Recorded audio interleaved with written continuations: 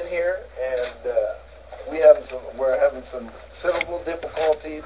She's scared of all these cameras, so uh, it's her position right now that she does not want to uh, be her her face to be excuse me to be seen on the uh, cameras. Uh, she's concerned about her life. She just got a few threatening uh, telephone calls saying that they're going to kill her, and she's concerned about that. So she does not want her face to be seen, and she doesn't want to make a statement. Now she still is on her story, saying that she is uh, recanting the uh, entire incident, saying that uh, it did not happen and that it was a full fabrication, but she's scared. And that's where we are right now. Uh, we had to coax her to come back here, and she's scared. She does not want her face to be seen on camera. She's, she's concerned about her life now.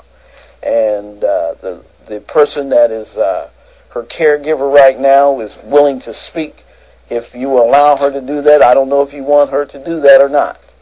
But right now, she is uh, uh, concerned about her safety and does not want to appear in front of the cameras. Who are the threats from?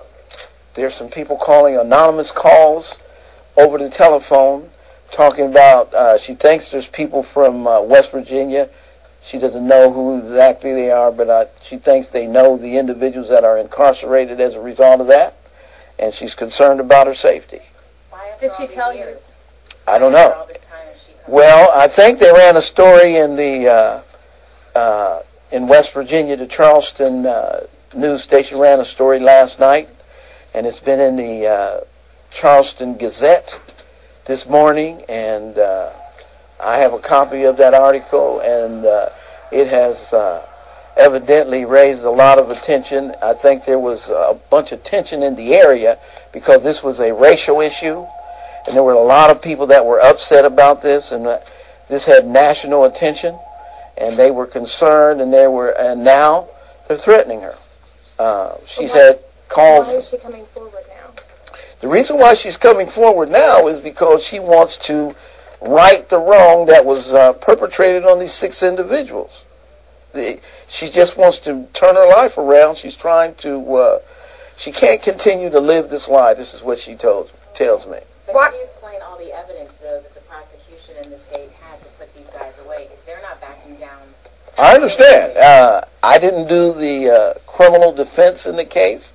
I don't know what the evidence is, so I can't tell you how we dispute any evidence. What I have been told is that she self-inflicted the injuries, the stab wounds, the other injuries that she sustained. The only thing that was uh, not self-inflicted was the bruises on her face, and that she got in, in a fight with her the guy that she was seeing in this incident, one of the individuals, and that he uh, assaulted her. He beat her up, but that was prior to this event. Why, aside from being tor- uh, tortured and that did not happen, if she's saying that did not happen, why was race brought into the um, why was race brought into the case in the first place? When you have a uh, alleged victim that is black, and you have six individuals that are white, that's because that's why race was brought to this issue. Now I don't know the facts whether they brought it up or who brought race up in this issue, but it definitely was raised. well, it She certainly has said that they bla- used racial slurs while they stabbed her.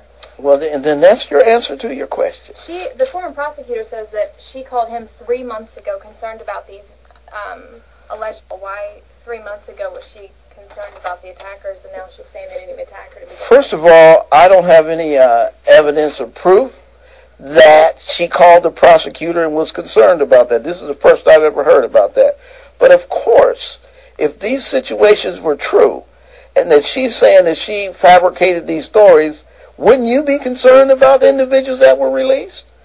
That seems logical to me. Who told you that stab wounds were self-inflicted? She did. She told me that stab wounds were Did she tell you self-inflicted. why she lied about the story? She wanted to get back at her boyfriend. She was mad at him for beating her up. Is she mentally competent to talk of this? To I'm a juris doctor. I am not a medical doctor nor a psychiatrist.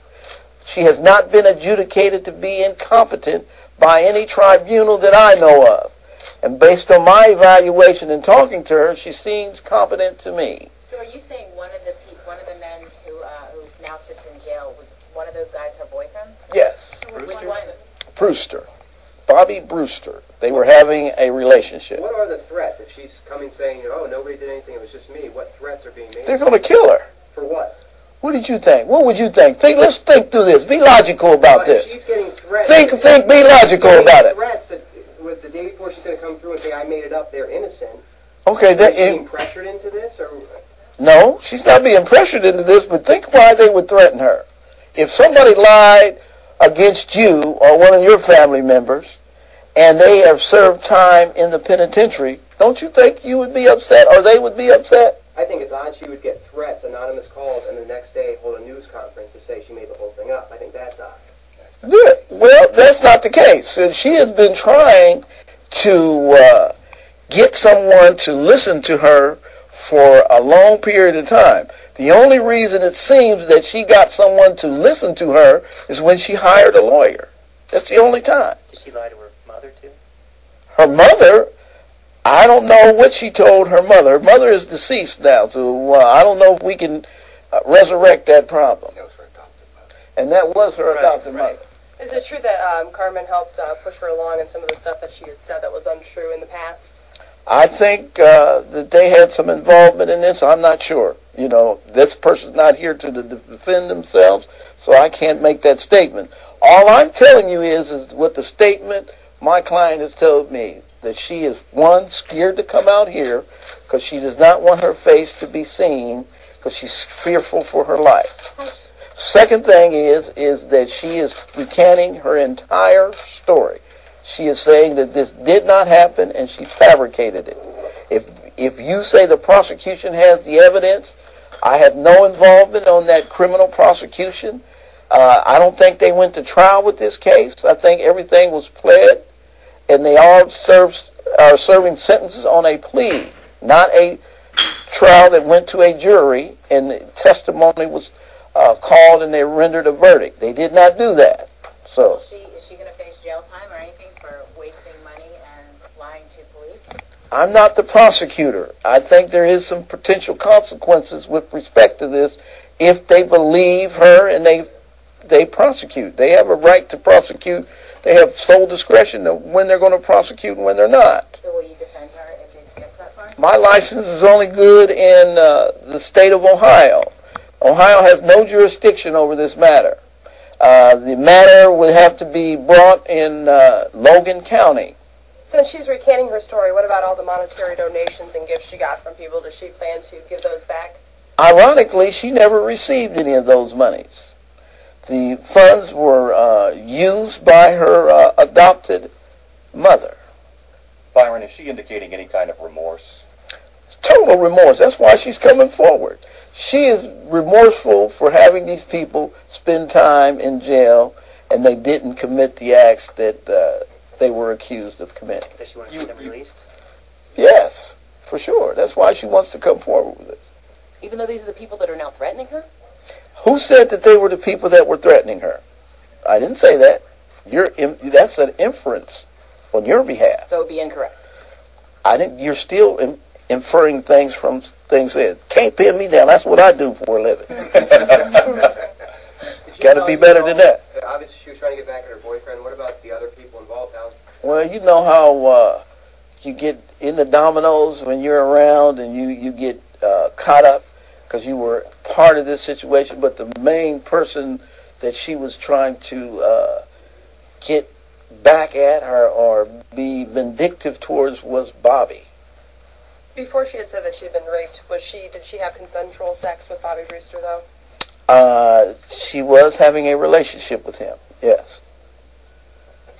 Um, this has certainly put a black eye on West Virginia as far as race relations, will damage to the race relations in West Virginia.